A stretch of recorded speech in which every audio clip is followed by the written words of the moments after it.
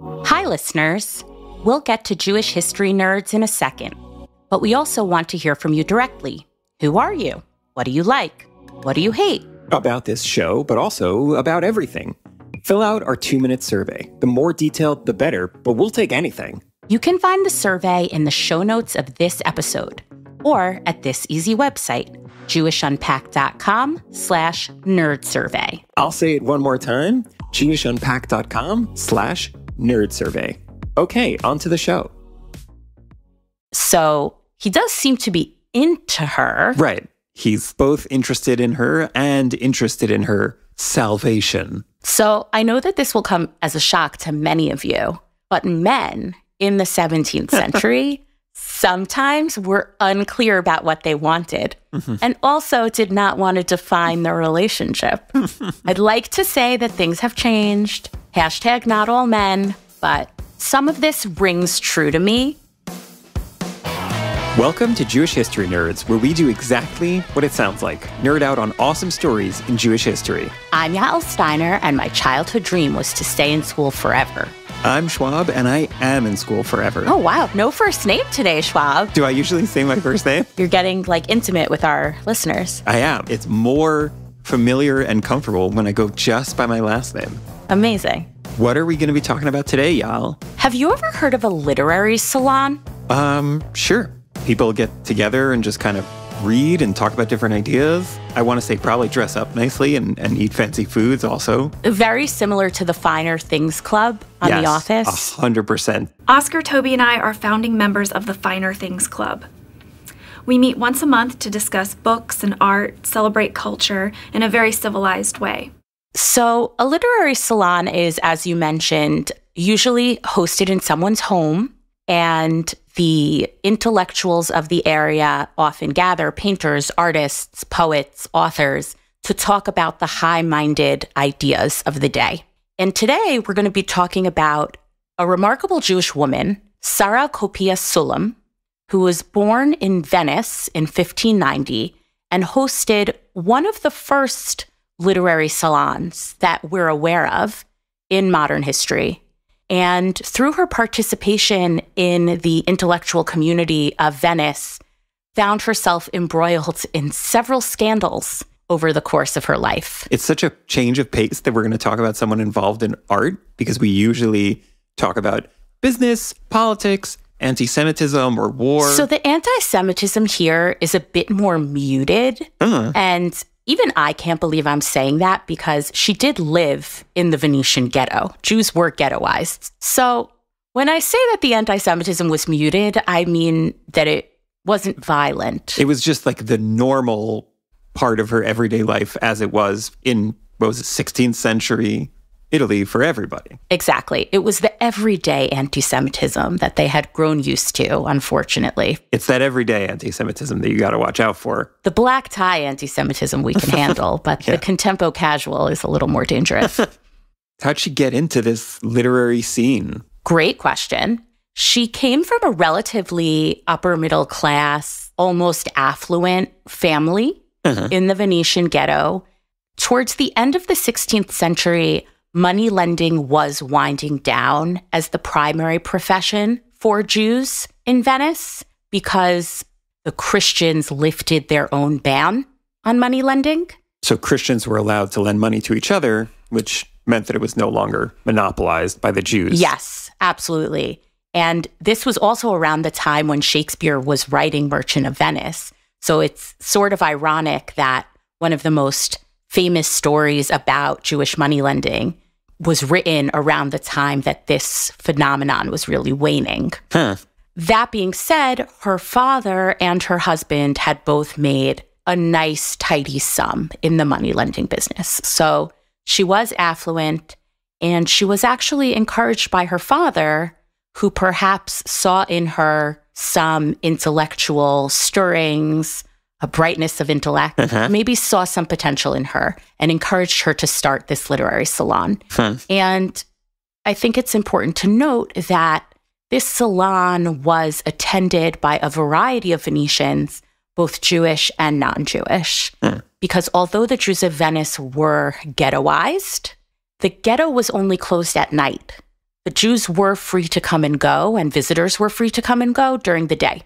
So, This salon was during the day when people were allowed to come. presumably, I kind of just always imagine if people are going to get together and talk about the arts or something, that it would be at night. But I guess I have to change my mental image of this thing and imagine this the sun shining in through the windows. that's because you're not a lady of leisure or a man of leisure. Right. Both can be people of leisure. Uh-huh. I really loved learning about her. I think I have a lot of soft spots for this story for a variety of reasons.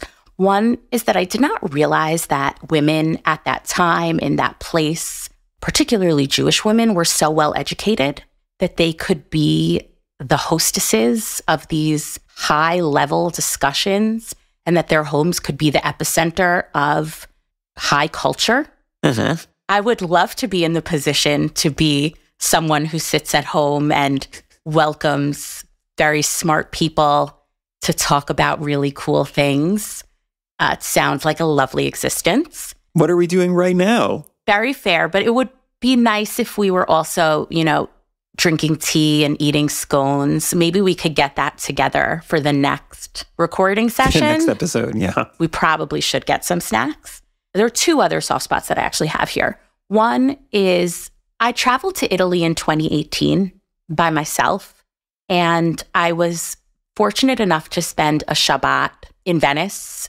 And I stayed not in the ghetto, but very close to the Venetian ghetto and went to services on Friday night that were held outside in the plaza of the Venetian ghetto. And I remember during that experience feeling so fortunate as a Jew that I could pray so openly that we were dozens of people sitting outside singing songs welcoming Shabbat in a place that was once very much an epicenter of persecution for Jews. And there we were celebrating and singing freely, and it was very meaningful to me. So to read and research this story about the Venetian ghetto really brought me back to that feeling. And the other is that one of the scandals that we're going to talk about is her exchange of letters with a Genoese monk who had written a play that she had read and loved, and their epistolary friendship, which is something that I've always been very drawn to. I, I love books and movies that have men and women corresponding about literature. That's kind of my guilty pleasure. Uh-huh. So I did like a lot of things. You're drawn to the idea, not personally drawn to epistolary correspondences with Correct. Genoese monks. I don't currently have one of those relationships. That's not to say one won't develop, but I like the currently. I did at one time Yes. have a pen pal with this Italian priest. I did have a pen pal named Eunice in third grade. Totally side note. Yeah. So let's get into some of the scandals that she is well known for. Mhm. She is married off quite young to a gentleman named Jacob Sullam. It's not clear what the emotional connection, if any, was between them. Mhm. We know that they stayed married for a while. Unfortunately, they lost a small child, and she also suffered, we know, at least one miscarriage. So they did not have any surviving children. Wow. Other than that, we don't know much about their marriage and their relationship, but she was married. Mhm. She reads a play called Le Esther in the year 1618, which is about Queen Esther, the heroine of the Purim story. Cool. And it is written by this Genoese monk named Ansaldo Cebà. She becomes obsessed with this piece of literature. She loves it Mhm. and she starts writing to the man who wrote it, Ansaldo. This is like fan letters, or these are These are fan letters to a certainly by 16th and 17th century standards salacious degree. Oh, okay. So it's not just wow, I love this play and this scene, but it's more like you must be so talented, and I'm really enjoying reading your work type of stuff. So she sends him a letter that says that she loves his work and she sleeps with the book under her pillow every night She really loves his work. Okay. and that she carries it with her everywhere. Wow.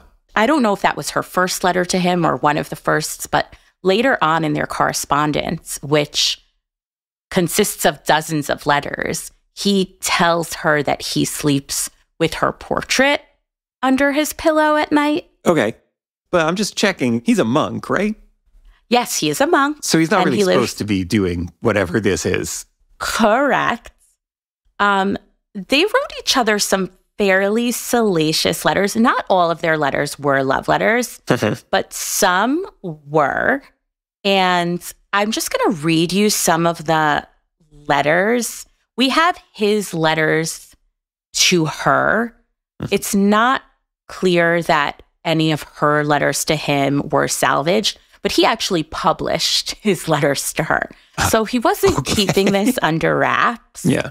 And the sending the portrait thing, like even in our modern times, sending a picture of yourself is very clearly a romantic, yeah, probably. early modern sexting. Yeah. It's a, a a propositional thing to do, I guess is a good way to put it. So here's some language from one of his letters to her. Oh, how many things does the love that you bear my verses make you say? And how many does the craving that I have for your salvation make me say? I admit that because of it, I also feel incited by a certain passion that perchance is not so criminal. But for me, it is so suspect that if you were where I am, you would recognize the consequences of my servitude, yet not see the features of my face. And while, you know, we would have to parse. It's too bad this is a podcast because I wish that people could see the features on my face right now reacting to everything you just read. And then he goes on to talk about not only how much he loves her and loves her mind, but that he wants her to convert to Christianity. That okay. So- that, I was gonna say because um, in the first line there, there was something about her salvation, and like, what does he mean? Salvation sounds pretty converty to me. Yes. So he ends the letter Ansaldo Cebà, your ladyship's most indebted servant. But at the same time, he's basically telling her that she's in the wrong. So he's negging her a lot. he says, I disagree with you and will always disagree with you as far as the profession of Judaism is concerned. But for the rest, I make you and will always make you as much a mistress of my will as you may be of yours. Wow, this is amazing. It's really great stuff. yeah. And he even writes to another individual, I'm assuming a friend of his, named Batista Spinoya, Gitan Batista Spinoya. I probably am totally butchering that name. I apologize. You did well to awaken me with your letter, Signor Giovanni Battista. For on the subject of corresponding with friends, I confess to slumber sometimes more than I should. I said, quote unquote, with friends. From these, I exclude Senora Sara, who is my mistress, as you know. And he goes on to say, I should mention she has been as close to dying as she is from converting. I regret her obstinacy. Help her for pity's sake with your prayers. He goes on to talk about how distressed he is that his mistress, Padrona, is not getting closer to Christianity. So I think when you look at the letters as a whole, it's clear to me that there are obviously romantic stirrings there, or at least lustful stirrings. But it's not clear to me whether or not those can be extricated from his desire to convert her. So he does seem to be into her. Right. It's not all an act just to convert her. He's both interested in her and interested in her salvation. So I know that this will come as a shock to many of you, but men in the 17th century sometimes were unclear about what they wanted and also did not want to define their relationship. I'd like to say that things have changed. Hashtag not all men, but some of this rings true to me. Mm-hmm. And one of the most amazing tidbits that rang the truest to me, actually, because I feel like this is something that could happen with someone that you're talking to on a dating app. yeah. Sarra Copia Sullam is her full name. Uh-huh. The word copia means couple in Italian. And early in her life, she spells copia, which is the spelling of the word couple, C O P P I A. And he writes to her that, like the two P's in her name, they are united as a couple in this word copia. Okay. And she immediately starts spelling her name with one P. Definitely the best part of this entire story. I love that story so much because I feel like that is a reaction that my friends and I could have to some creepy line on a dating app that's supposed to be romantic but comes off as Mm-hmm. super, super gross. yeah. And then you have to change your name. Then you have to change your like contact info on the app. It's just hilarious to me because she obviously is interested in him as well, mm-hmm. but apparently he took one step too far. She's like, oh, whoa, this has all gone way too far. He misunderstood why I sent him my portrait. Like maybe he could have said we're two peas in a pod, but the two peas in a couple was was too much. So she changes her name. Exactly. wow. So she becomes well known for her hosting of this salon and also for her correspondence with Ansaldo.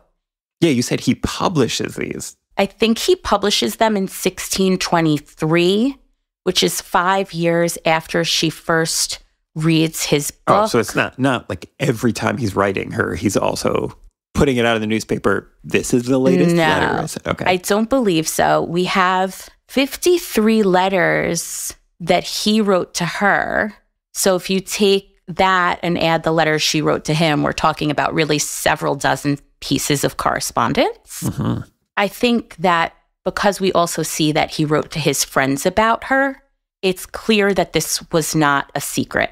He also apparently wrote to her husband to That is a both- bold move. it is a bold move to encourage him to encourage her to become a Christian. And I'm guessing that did not work. It did not work. Again, we don't know a ton about the emotional nature of her relationship with her husband. So, you know, it could have been a loveless marriage, it could have been a marriage of convenience, or it could have been a happy romantic marriage. But even if it was a loveless marriage of convenience, I think most husbands probably not thrilled to be getting letters from Genoese monks it's a bold move. So even even in his most flowery and expressive letters about his love for her, he always ends them with his desire for her to convert. Uh-huh. So the Christianity portion was definitely a big part of it. Yeah. I think she is known in her circles a little bit as a dilettante or someone who is not quite as smart as she thinks she is. Uh-huh. And at a certain point in time, she comes under attack by a gentleman named Baldassar Bonifacio, who is a Christian. And I believe he's a member of her salon or a member of her community. And he's the one who accuses her of not believing in the immortality of the soul. And he makes this very public claim against her. I'm trying to understand the context because right now I feel like if that charge was levied against someone in 21st century America, you know, this person does not believe in the immortality of the soul. It doesn't seem like it would be the most important thing you could say about a person, but at the time that was a very big deal, you were saying?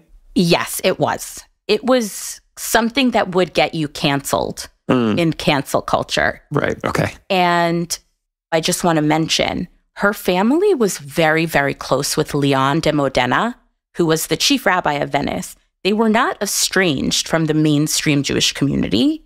We don't know how quote unquote observant they were by today's modern standards, but they certainly were not outcasts in the Jewish community. So to say that she does not believe in the immortality of the soul is strange and controversial. Mhm. And she immediately publishes a manifesto to challenge this notion that she doesn't believe in immortality of the soul. Does the manifesto need to include much more than I believe in the immortality of the soul? I think she does include some exegetical or analytical detail. Oh, she's got to like really defend her position. She's like, I've always believed in the immortality of the soul. Yes. Here's the justification for that belief. exactly. One thing that she does that is really an instance of form meeting function uh-huh. is that she dedicates her manifesto to her deceased father hmm and saying, You say I don't believe in immortality of the soul? Joke's on you. I'm dedicating this manifesto in which I bolster my belief of immortality of the soul to my dead father because I know that even though he is dead, his soul is immortal and he can read this. Mm. Seems like she's able to put up a pretty strong defense of her belief of the immortality of the soul. She is, but I'm not sure how well it goes over. I think that, like many things in life, once the accusation was levied, that was the story that really took root and spread. She lost her relationship with Ansaldo thereafter, which Huh. maybe was not a bad thing, but she sent him a copy of the manifesto and he did not respond to her for many, many months, Uh-huh. which was unusual for the speed of their general correspondence. Uh-huh. And when he ultimately did respond, he was colder, Mm. and you could tell it was sort of the beginning of the end for them. She became a little bit of a joke in the intellectual circles in Venice. A satire was written about her, Le Satire Saridi. Because of this thing, not because of her salacious correspondence with the monk, but because Correct. it was all published. The letters were published two years after the accusation. Ah, so it's like, whoa, everybody knows this story. And he's like, actually, do you know I've been writing letters back and forth to her for many years? Here's all of them. Right. But And I'm not embarrassed about the things. that doesn't mean that people didn't know about the letters. I don't Uh-huh. know for a fact. But in terms of actual publication of a bound book or pamphlet, her manifesto was a pamphlet. The letters were published later on. And her life kind of goes downhill from there. Subsequent to this, the people who worked in her household stole from her. Maybe she was disliked by them or disliked by others.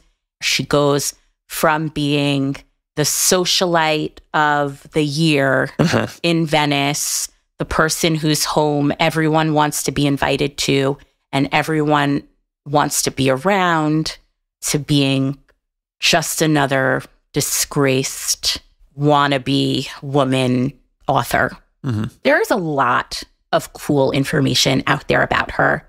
I want to talk about why we think this relationship developed, why she got so ensconced in this salon culture, which really took off in Europe and was actually fairly centered around the Jewish community for several centuries. When you get to the 19th century in Germany, you really see Jewish women as the epicenter of these intellectual circles. And I'm interested to hear your thoughts. Yeah. But a lot of it to me, I think, stems from the fact that women at this time were literate. Uh-huh. It's likely that she was learned in Hebrew, Latin, and Greek, but they were not permitted to study Torah.